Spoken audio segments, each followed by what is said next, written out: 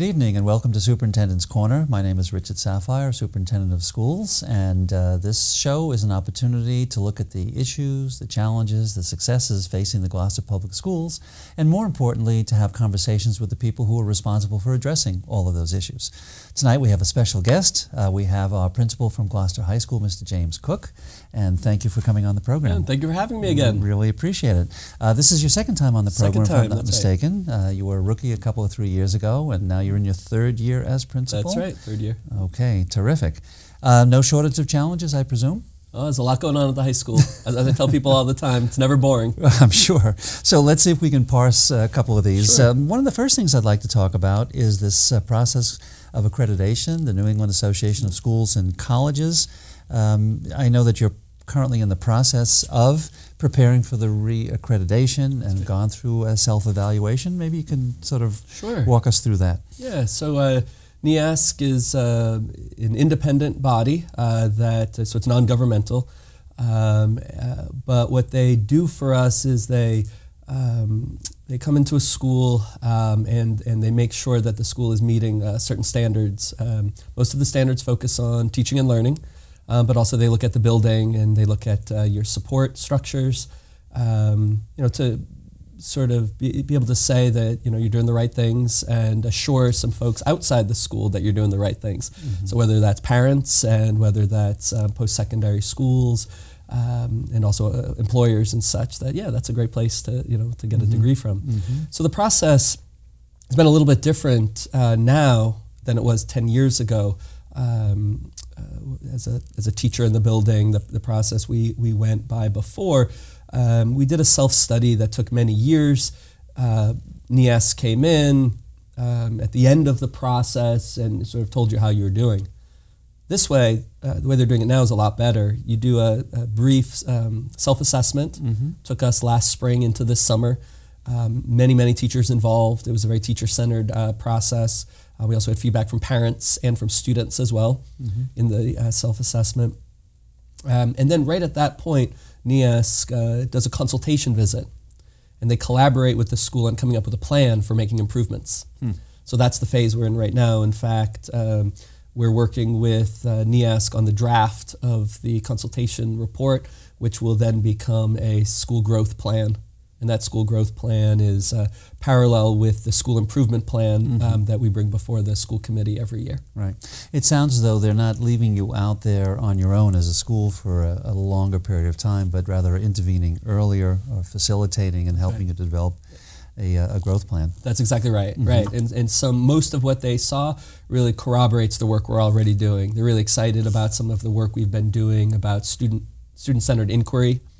Um, they've really been excited about the support services we have in place for uh, mental health, um, special education. Um, so they've been able to, uh, you know, sort of encourage us to keep going with some of the initiatives we have. Um, and then also give us an, um, some feedback on you know the work that remains to be done. Mm-hmm. And uh, I imagine this culminates in a committee coming out to visit the school at a point in time, and then they will develop a final report. right. What's the timeline on all that business? The fall of 2020, they will be visiting uh, to see how the growth plan's been going. right. So we have uh, next school year, and then that fall they'll be here. That's right, Yeah. exactly. Before we turn around, right? That's right. I know it's uh, it's a lot of work, and uh, so uh, we're already planning for uh, you know next year and the fall to make sure we have everything in place. Mm-hmm. It's a very systematic process if done correctly. That's right.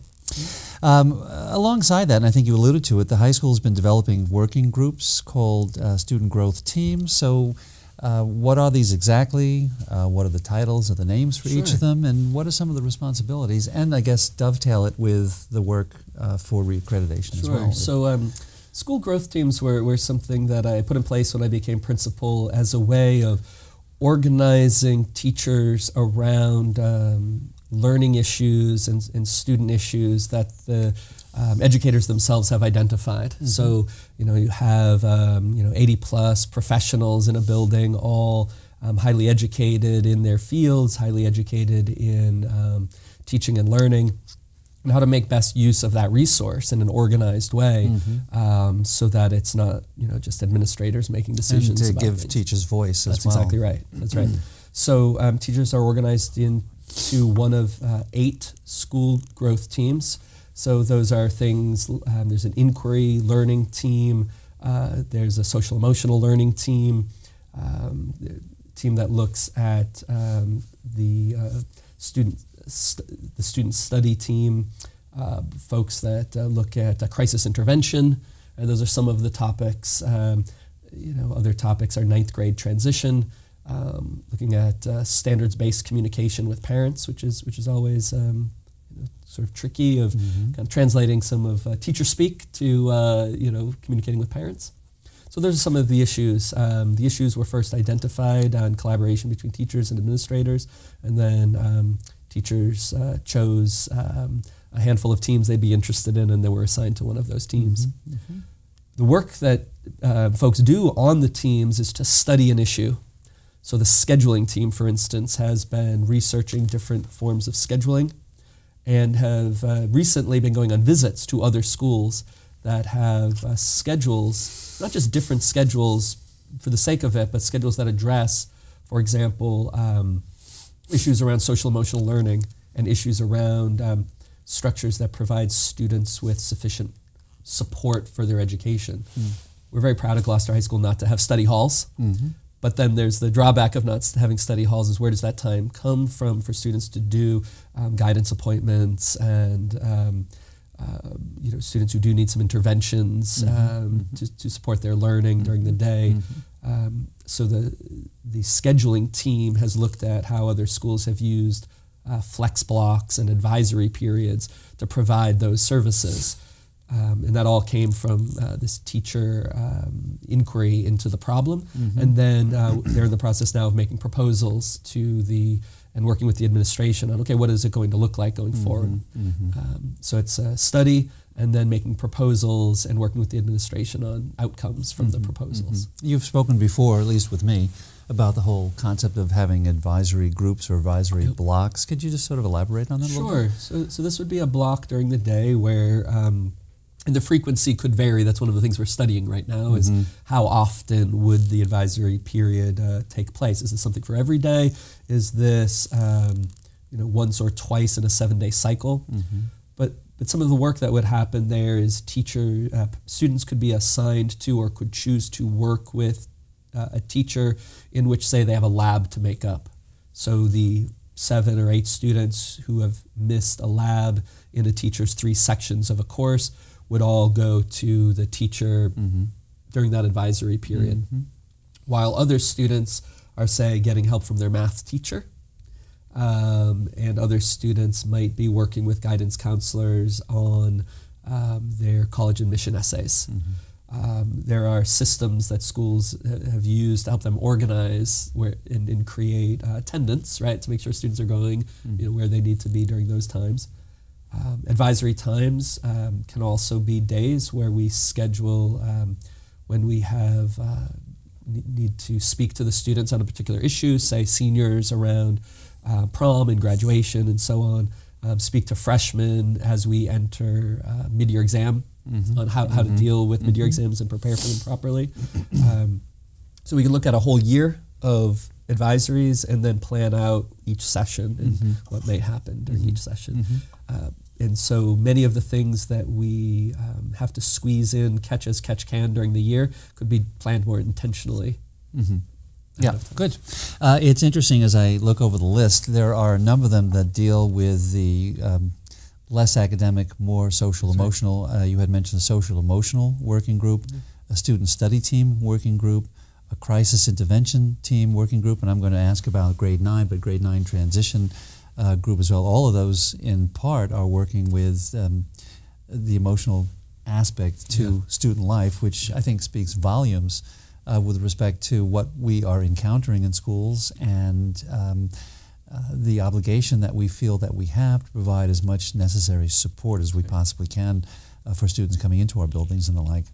Are there, um, can you just briefly, you a social emotional, student study, and a crisis intervention sound, at least at, at face value, to have similar kinds of yeah. responsibilities, but there must be distinctions there well. are, yeah. So, crisis intervention team, um, they'll look more at uh, school safety issues. Mm-hmm. Um, they're the team that has helped us prepare for our ALICE trainings. Okay. Um, in, in recent times, uh, they'll look over the school safety plan and Mhm. look for holes, look for Mhm. things that we want to improve upon. Mhm. Um, so as we do that every year, their input is incredibly valuable. Um, that is the, the body that will debrief uh, after um, a fire drill or after a, um, like I say, the ALICE um, school safety trainings Mhm. um, and help us prepare. Um, some of them even help administration with uh, observations of how we're doing in Right. you know with with the um, you know response to um, you know, the potential, for school for, violence. for tragedy. Yeah. That's right. So, exactly. so- So that team has that focus.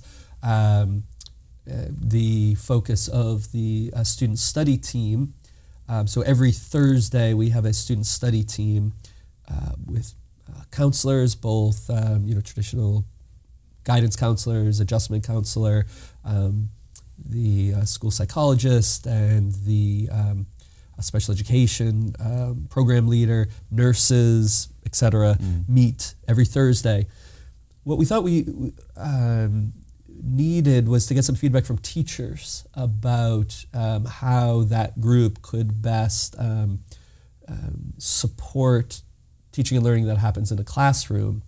Um, it's difficult, you know, teachers are invited to come in um, to talk about students they may uh, want to study, but many teachers don't really know the inner workings of the SST. Mhm, mhm. So this was a way to um, pair up folks who are in the classroom with people who are doing the um, more of the direct support. Mhm. Um, so SST team has been talking about how to manage this because they're two very different worlds, right? Mhm. One is really organized by the block schedule and Right. content and Yeah. uh, assessments of students, and the other is is really looking at the uh, health needs, both physical health and mental health of students, um, and those. Um, this is that team is an opportunity for those folks to talk to each other Mhm. about how Mhm. best to work together. Mhm. Mhm. And then social emotional learning really has to do with um, the- most recently uh, they did a presentation around um, mindfulness and meditation for students. How this is something that can be, uh, how, what are the particular strategies teachers can use to help recenter students? Mhm. Uh, this is something elementary school teachers have been doing for quite a while Mhm. now, Mhm. and you know, in the last three years at the high school, uh, we've been taking seriously, and you know, what can we learn from some of those strategies? And of course, they're going to look different when you're dealing with a 16, 17, 18 year old Right, uh, than when you're dealing with much younger students. Mhm. So um, the the team came into a faculty meeting and we did some mindfulness and meditation mhm. practices ourselves. they also presented resources to the faculty to use um, use in their classrooms when they feel they need to recenter students, whether that's with a whole class or you know individual students who need that recentering, or whether it's uh, experiencing anxiety before a test and what we can help students with. Um, this last go round with mid-year exams, among the resources we posted for parents, not only did um, we post on the website and share out through email um, the normal, you know, study tips for, for but we also shared out um, exam prep meditation uh, Mhm. videos, so Yeah, to right. help. Focus on your breathing and That's right. stuff like that. Uh, there's a, a fellow who's going to be offering, um, I think, a six week, one day a week um, uh, course for teachers in mindfulness. Oh, that's I, great.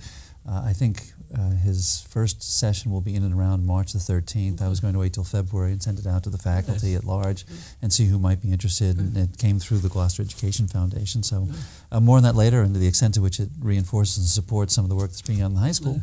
Uh, it'll, it'll I think there'll be a lot of interest in, Good. in, in that. Yeah. Uh, right, and and and that team also is looking now particularly around um, LGBTQ plus um, issues in our school and, and how to make sure we're an inclusive environment. And the next professional development, late January, Mhm. will be uh, around those issues with someone from. Uh, the uh, Department of Elementary and Secondary Education coming in Mm. to do that PD. So, um, so I should maybe give us a sense of the different um, foci of the three different groups. I never get a chance to use that word too No, often. Foci is a good one. And I wasn't a science teacher, so. Right. Let's shift gears just a little bit. Uh, speaking of social emotional needs, um, becoming a freshman is a challenge. Sure. Uh, eighth grade, uh, middle school at large, uh, is a time for you know expansive uh, social emotional growth and uh, emotional maturity and physical changes and psychological changes, and then comes the challenge of high school and the freshman Yeah. year. So, what is that challenge, and uh, what steps uh, is the high school taking to try to help these kids along? Sure. So, um, as I said earlier, one of our school growth teams is looking at that very issue mm-hmm. and making rec- some recommendations, um, uh, particularly making recommendations about what a um, freshman uh, academy or freshman house might look like at Gloucester High School mm-hmm. and, and what it would take, because that would be a, a we need a plan in place to, mm-hmm. to bring that about since it would be a different structure. And then there are the things we can do right now um, looking at you know um, what that structure would do, what are some of the other things even without that, and and, and, and what I mean by that is um, uh, there are ways of um, of uh, one approach is sink or swim sort of approach, and then there's uh, teaching students how to swim. and, he has, he has a couple of bricks while you're right. So so um, in other words, when um, here are having teachers be very explicit with students about what the expectations are, mm-hmm. you know, and what the resources are to help them meet those expectations, mm-hmm. and then and, and doing that in a way that is um, not just about putting the expectations out into the world and saying ah, uh, they're there if you look at them, right. but being very insistent and repeating what the expectations are and mm-hmm. what the mm-hmm. supports are for helping them meet the expectations, mm-hmm. and then sharing that out with parents as well. Right. Um, n- and not just waiting for the parents to ask right. about them or waiting for the students right. to ask about right. them or saying it's there on the website or something mm-hmm. like that. So one practice, uh, one particular uh, social studies teacher at the high school um, regularly will use um, some upcoming event. It could be mid-year exams, for example, and very much three weeks ahead of time walking students through what that's like. Mm-hmm anticipating what some of the problems students face with, say, the mid-year exams, mm-hmm. waiting too long to study. Um, uh, there's a little bit more freedom around mid-year exams in terms of, um, uh, you know, there's a there's an open campus lunch. Mm-hmm. Some mm-hmm. students might struggle to get back to school on time for the 12:30 start. Mm-hmm. So, as a teacher, uh, this this particular teacher will uh, observe recently will anticipate some of those problems students might face, and then you know sort of talk the students through them. Right. So um, anticipating some of the problems students might face, and then um, you know before they proactively rather than reactively is mm-hmm. one of the things that helps with the ninth grade team. Um, another uh, approach that's really important is making sure that we collaborate uh, together. So the, the, the, guidance counselor, the dean of students, and the teachers um, you know, working together and working with the parents when students do um, run into, you know, um, difficulties completing work. Um, they may face increased homework. Um, they may face increased um, uh, sort of the, the repercussions of failing a course are mm-hmm, greater mm-hmm, suddenly, mm-hmm, right? You're not mm-hmm. picking up credits. You might not be able to progress right. towards graduation yeah. on time and uh, the in- intervening, um, say at the end of first term, SST, the student study team, went through the list of all the freshman failures mm-hmm. that freshmen who failed multiple courses, mm-hmm. and made sure we had some kind of intervention, uh, mm-hmm. uh, discussed an mm-hmm. intervention with mm-hmm. about each of the kids who mm-hmm. had multiple right. failures. So that's what I mean about the collaborative approach. So there's the role of the teacher in the classroom, who can uh, maybe in, you know in addition to teaching their content, help the students plan for homework, break down assignments into pieces uh, make sure parents are aware and can support that. Um, uh, anticipating some things that st- students get into trouble with, right, right, that lead, lead to difficulties for students as a teacher. And then there's the support staff um, having times during the year where we can intervene and help freshmen with the transition. Mm-hmm. It sounds like it's not only a matter of um, taking on the larger load that freshman students experience, but there's also the whole piece about executive functioning, what you That's were right. just describing about organizing and yes. taking things into pieces and processing things certain ways right. and and uh, making sure you've got all your you know, right. ducks lined up. And it's, yep. it's it's it's a real it's a it's a rite of passage, it but is. a very necessary one. It is. And so you know, one of the other things teachers do is building in to uh, say a grade for a class how you maintain a notebook mm-hmm. in an mm-hmm. organized manner. Right? Mm-hmm. No, that's not necessarily a Spanish skill, but it is a high school skill. Correct. Um, one which a year later, two years later, we expect students to have mm-hmm.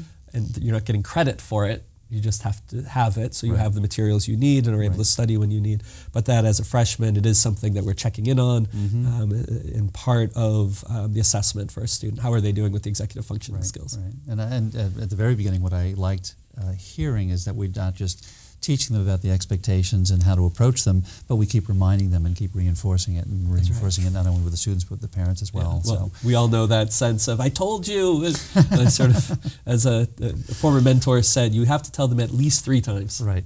At right. minimum, right. Right. I've heard you say in the past that there is a balance between teaching of the foundational skills to learning and uh, foundational skills and understandings and the use of inquiry as an application. Um, so that's one of the core ideologies I think that uh, drives your thinking and drives uh, the high school. So uh, can you talk in terms of how do schools and classrooms establish a balance between those foundational skills and understandings and the use of what uh, you have referred to in the past as inquiry uh, or the means for applying those skills and understandings? And uh, if you can tie in the whole next generation MCAS and its expectations, then we may have to extend the show to an hour instead of 28 minutes, but uh, see what I'll you do my do. best. See yeah, what you can do. I'll do my best. So, um, so as you say, a guiding principle at Gloucester High School um, and a, a, guiding principle for my teaching for uh, 20 years has been around um, making sure students have foundational skills that are transferable to other contexts. Transferable skills, transferable content um, that provides a, a, foundation for other learning that happens later. So, um, and that is the um, it is those foundational skills and that foundational content that um, at its best the the MCAS assesses right? Um, you know um, so for example in the English um, the new ELA test um, increasingly students are being asked to read one text or multiple texts and being able to identify how that text functions in terms of uh, making its point providing details, how this piece um, speaks to an issue differently from this piece. Now, that's something we do in our daily lives mm-hmm. all the time as citizens and in our work, right? That's a common foundational skill. Mm-hmm. You go into psychology, you go into teaching, you go into the sciences, right? You work in business, you're going to be using that, that foundational skill. Um, and then, you know, within, say, biology, within history, there are foundational, there's foundational knowledge that as an educated person we're expected to have. So those that, that that's the foundation. Um, people will sometimes say about foundations in 2019, why do we need a foundation? You just Google it.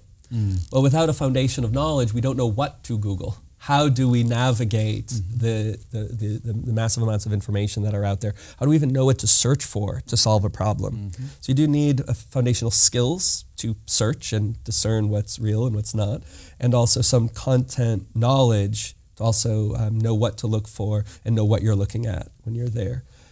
But with the foundation, you're then able to, um, with the access to information that we have, do what we call inquiry investigate more mm-hmm. deeply, mm-hmm. ask questions of your own about the content that your teacher has, has, has been te- teaching you um, because of your curiosity, because it matches with some other area of interest of yours.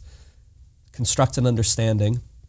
Communicate that understanding with somebody else, either as a mm-hmm. group or mm-hmm. you know as one person communicating with another person.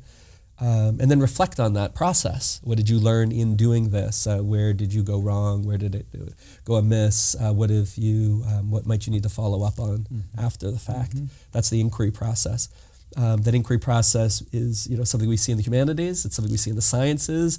Engineering, it looks a little bit different. Mm-hmm. It looks a little bit different when you're diagnosing a uh, an engine that isn't working in auto shop, mm-hmm, mm-hmm. but the basic principle underlies all of the um, the upper level areas at Gloucester High School. You know, when you're getting into photography, uh, advanced photography, you're getting into um, Auto 4, you're getting into AP psychology. The same sort of transferable skills are there. Um, and at the upper level, students are able to go delve in more deeply, mm-hmm. ask more of their own questions, um, and are the authors of their education using the foundational skills um, that they got earlier and um, using the teacher guidance and teachers' understanding of resources and um, and challenging students at the upper levels. A very simple analogy is um, as I'm listening is uh, as a flashlight. I, I have to get up early in the morning sometimes, take the dog out for a walk, and I can't go into the side or backyard unless I've got that flashlight because I can't see anything and I can't possibly navigate my way. It's particularly made worse by the ice and the slight slant that I have uh, as the pathway uh, moves towards the house and the like. Um, in the same way, we're teaching, you're seeking to teach kids to use their minds as that flashlight. The flashlight, perhaps, in a way, uh, I'm not sure if this is accurate, in a way, is the foundational skills or it's the tools that you're given. Not the best connection by way of analogy, but the using of the mind as the light source itself, and that there are ways in which that light can be carved up uh, mentally in terms of cognition, understanding, and attached uh, to your own judgments and values. I mean, there's an exceptional amount of uh, thinking uh, that is associated with this whole process. Yeah. And if we're not, if we're not in, in the business of trying to teach kids to do that, then I'm not quite sure why we're sitting across It's one one of the things that's most exciting about our time is this challenge that we have around the information that's available, but then helping students navigate that intelligently. Um, and so, you know, so the foundation of knowledge and skills is so important for how to navigate that, and even the disposition to be a nav- to be somebody who uses a flashlight, Right. somebody who actively themselves is curious about what's in the corner over there, Right, um, And, and is going to go take a look at it. And so, and, and really for me, the and for many of the teachers at Gloucester High School, it's the, the excitement that some, a student gets. Again, whether in the you know machine technology when they're working with CNC equipment and discovering that and and, and imagining what they could do in, in manufacturing technology, you know, or it's somebody in um, you know, an engineering, manufacturing, and design class using the 3D printers, or again, somebody in the arts who has learned a bunch of um, techniques and now has a vision of creating something um, using those techniques. Um, you know, seeing that excitement is really what it's about. Um, the, the thrill around building tools and then applying those tools to solving problems and creating new things. Right, right. And um, as I think you've already described, the malleability of the concept of the framework of inquiry and its, and its adaptability to engineering, science, career and vocational tech, English, and, and art, and everything else. Uh, my presumption is that the, the faculty at large uh, is buying into this concept.